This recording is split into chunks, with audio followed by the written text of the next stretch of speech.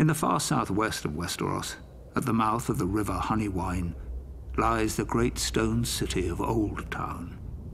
It is home to the Citadel, where men and boys from throughout the kingdoms come to receive their training as maesters. Maesters play an integral role in Westerosi society, serving as scholars, healers, and advisors to the nobility of the Seven Kingdoms. This venerable order of learned men dedicate their lives to serving the realm and are sworn to occupy a neutral position when it comes to power and politics. Upon completing his training at the Citadel and taking his vows, a maester renounces his family name and takes a vow of celibacy.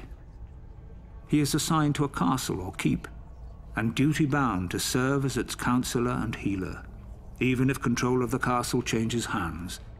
A maester's allegiance is to the realm, not to any one family. His badge of office is a great chain, forged from links of different metals which he wears around his neck. It is a reminder of his role as a servant of the realm and is never to be removed.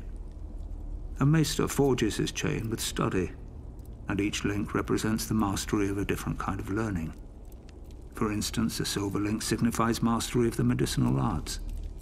A golden link represents the study of money and accounting.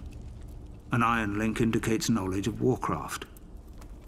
Ravenry is an especially important skill for a maester, as it is he who breeds, trains, and maintains carrier ravens for the delivering of messages throughout the land. There are some maesters who have earned a link forged of Valyrian steel. This signifies knowledge of the higher mysteries, commonly known as magic. Only one maester in a hundred possesses such a link, as this field of study is frowned upon by many in the Order.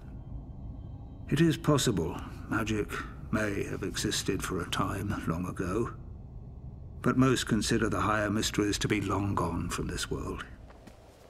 Service as a maester is a noble calling, one of vital importance to a prosperous realm. It is little wonder there are some who refer to the Order as the Knights of the Mind.